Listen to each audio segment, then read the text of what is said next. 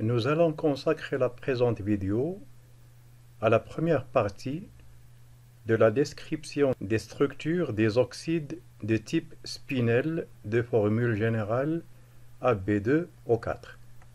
Le spinel proprement dit est l'oxyde ionique de formule MgAl2O4, qu'on appelle aussi aluminate de magnésium.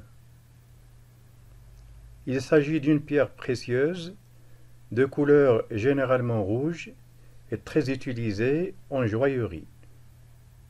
Les cristaux du spinel MgAl2O4 sont pointus avec des arêtes aiguës, d'où l'appellation spinel, qui dérive du latin spina, qui veut dire épine. La structure du spinel MgAl2O4 a été déterminée pour la première fois par Bragg et Nishikawa en 1915. Le groupe d'espace des spinels est le groupe cubique Fd-3m. Les oxydes ioniques qui ont des structures de type spinel ont pour formule générale A B2O4. Nous faisons remarquer au passage que certains sulfures ont également des structures de type spinel. Leur formule générale est AB2S4 et ils sont appelés thiospinels. Les thiospinels les plus fréquents sont reportés sur le tableau suivant. Les structures spinelles sont de trois types. Le premier type sont les spinels directs. Le deuxième type sont les spinels inverses. Et le troisième type sont les spinels mixtes ou intermédiaires.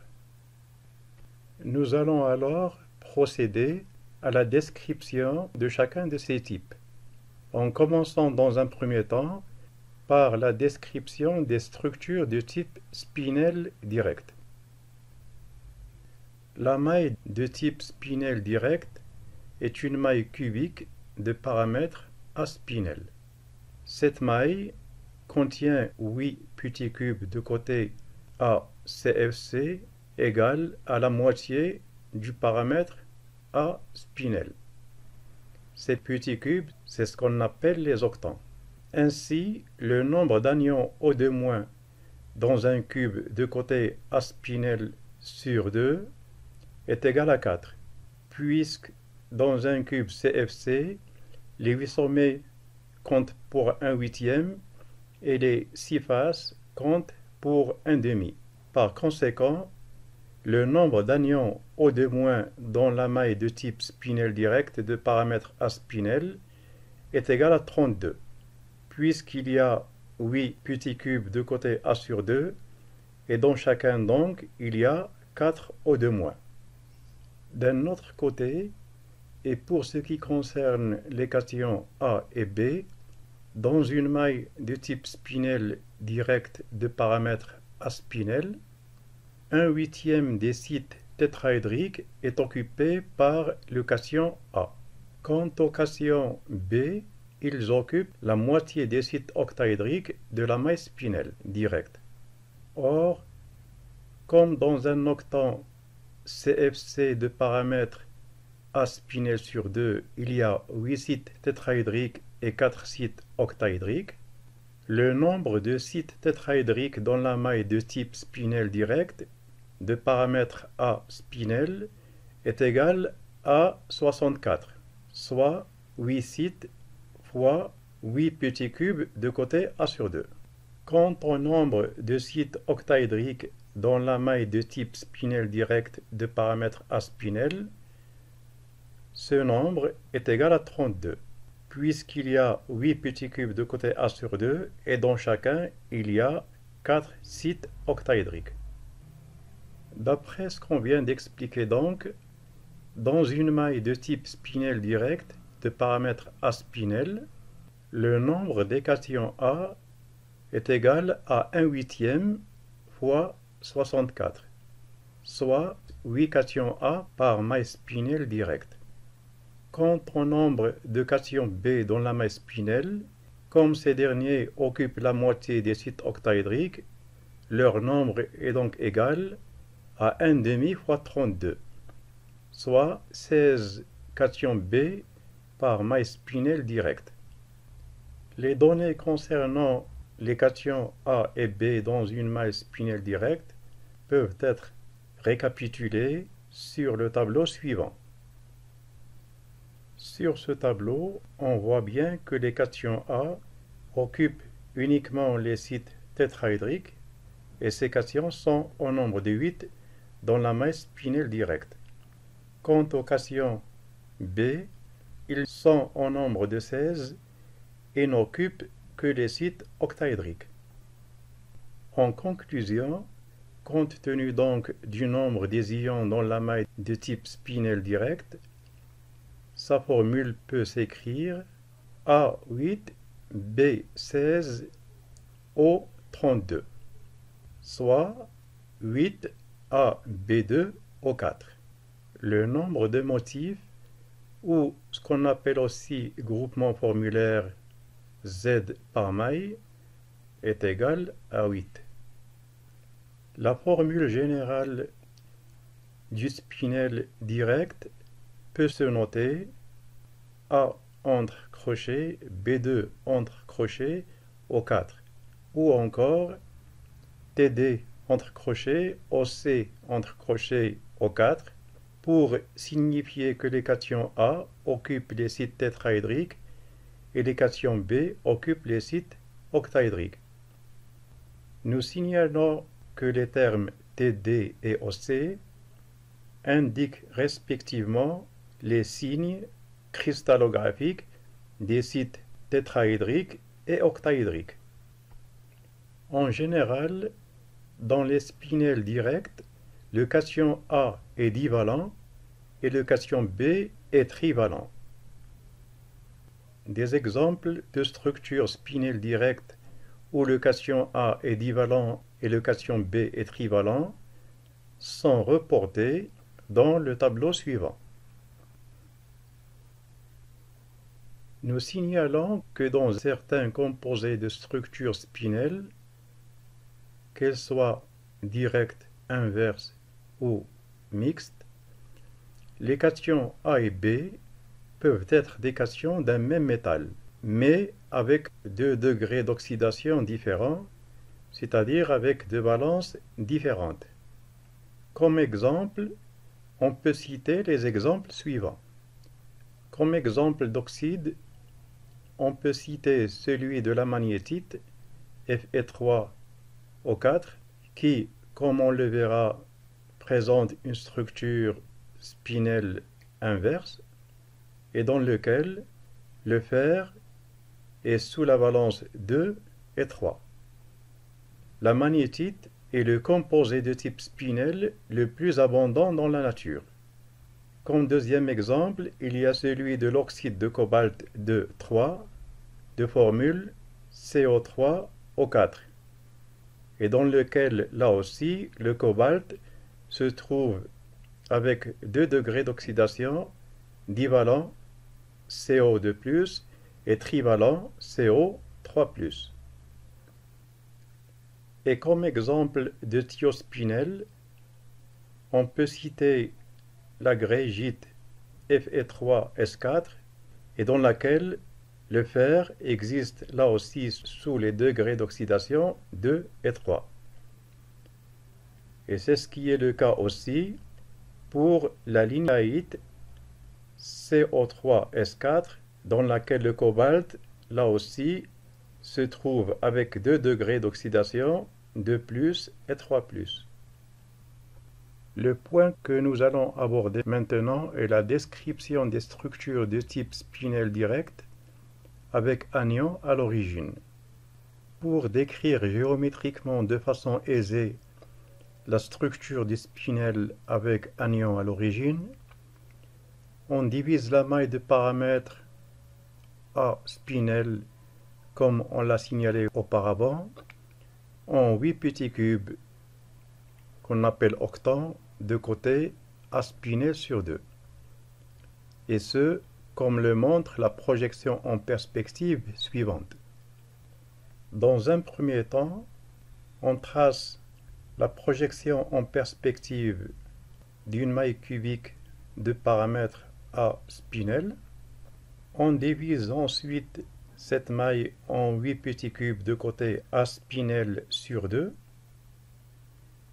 Parmi les 8 petits cubes de côté A sur 2 qu'on appelle aussi octants, on va considérer 4 qui sont disposés en quinconce. Les quatre octants en question sont ceux dont on a coloré les faces se trouvant à z est égal 0 et z est égal 1 en rose. Ces octants, ou cubes de côté A spinel sur 2, c'est ce qu'on va appeler les octants de type 1. Pour ce qui concerne les quatre octants restants, ils sont également disposés en quinconce comme les précédents.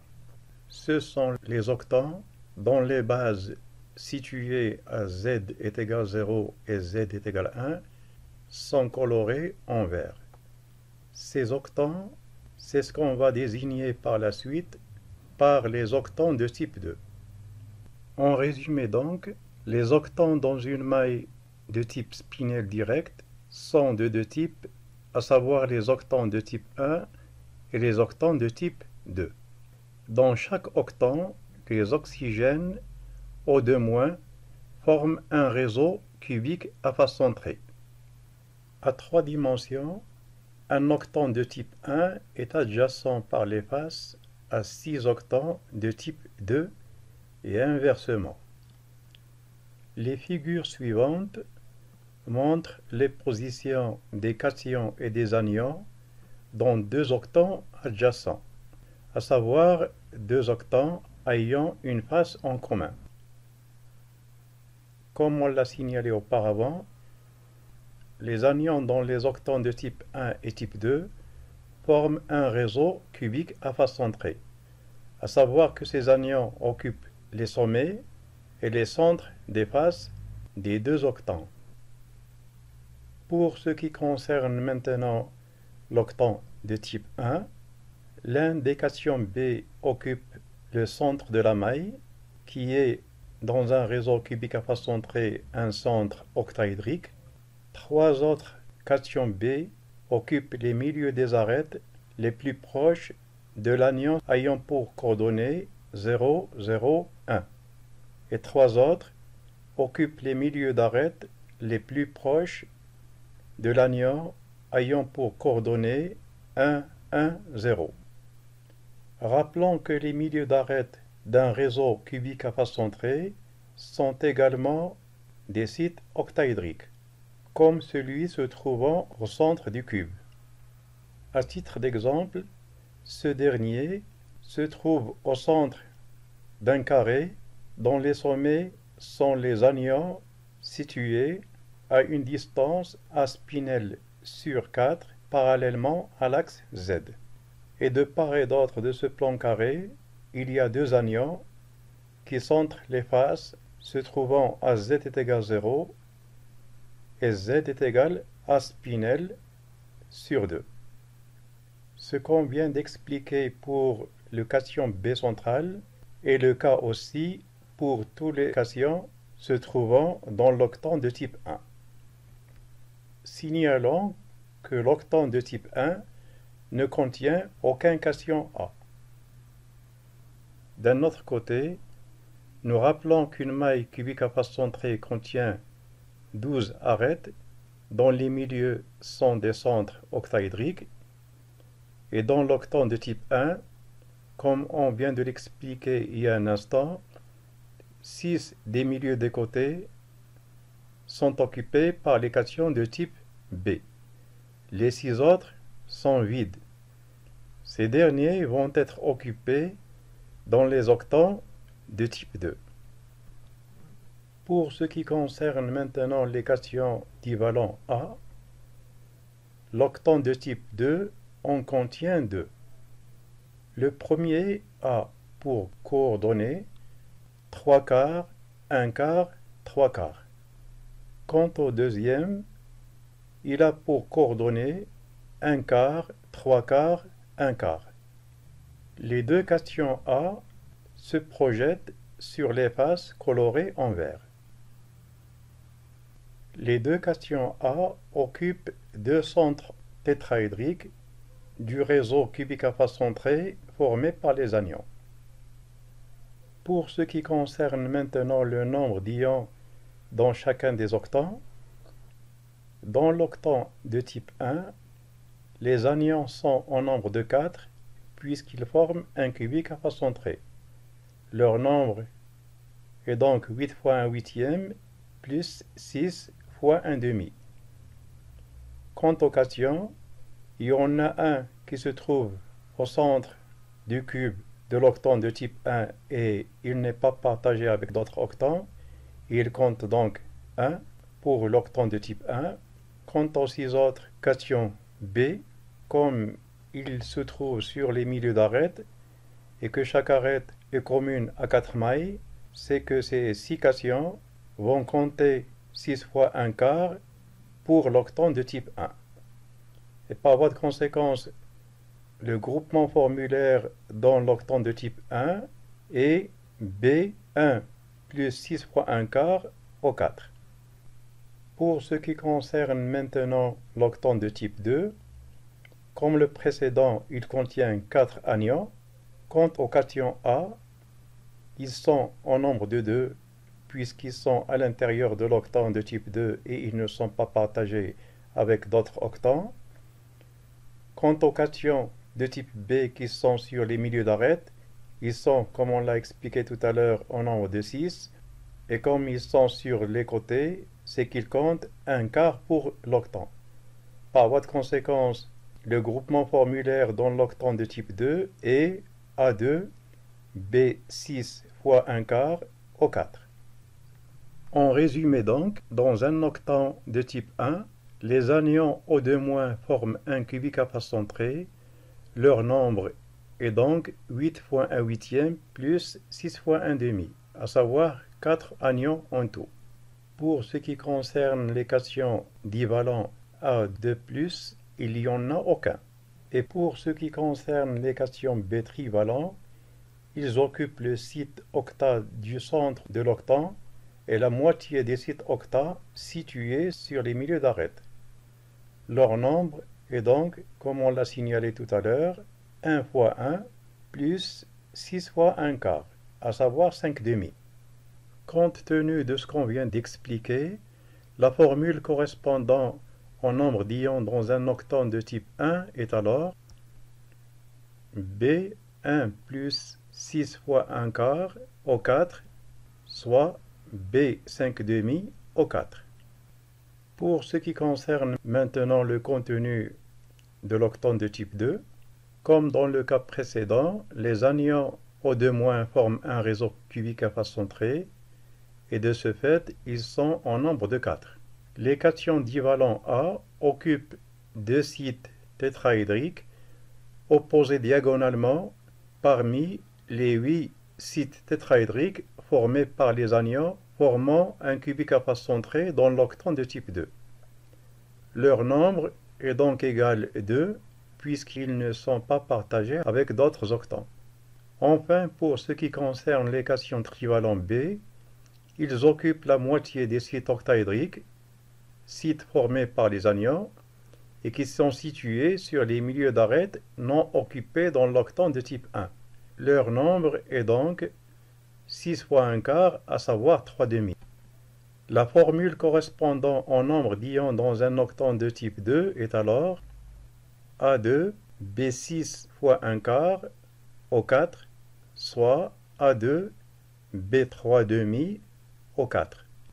Comme la maille spinelle de paramètre A spinel contient 4 octants de type 1 et 4 octants de type 2, le nombre total des ions dans la maille spinelle est 4 fois A2 B3 demi au 4 plus 4 fois B5 demi au 4, soit A8 B6 au 16 plus B10 au 16. Autrement dit, dans la maille spinelle, le nombre de cations divalents est égal à 8, le nombre de cations trivalents est égal à 16 et le nombre d'anions oxygène O2- est égal à 32. La formule générale du spinel direct est alors A8B16O32, soit 8AB2O4. Ce qui veut dire alors que dans la maille spinelle directe, il y a 8 groupements formulaires ou motifs A, B2, O4 par maille. J'espère que la présente vidéo vous a bien servi et à la prochaine.